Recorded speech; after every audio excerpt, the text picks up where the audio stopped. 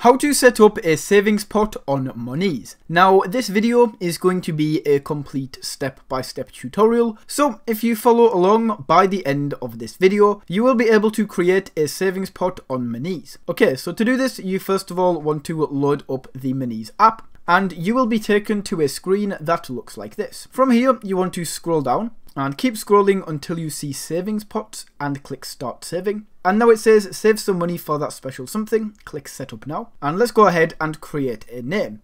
So I'm just going to call this subscribe. Subscribe. Set a goal so you can turn this on or off. Um, rammed up as well you can turn on or off but let's click create. And right here you can see this pot is now created and what we can do is we can add money, we can withdraw and all of that good stuff. And that is how you can create a savings pot on Monese.